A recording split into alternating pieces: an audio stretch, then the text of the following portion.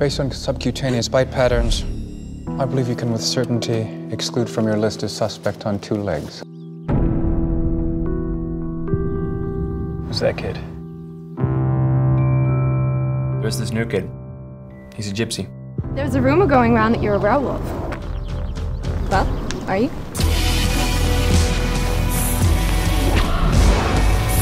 Something's going on here. You can't act like it's not.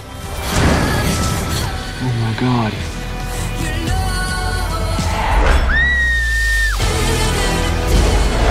You won't get away with it, you know. What are you?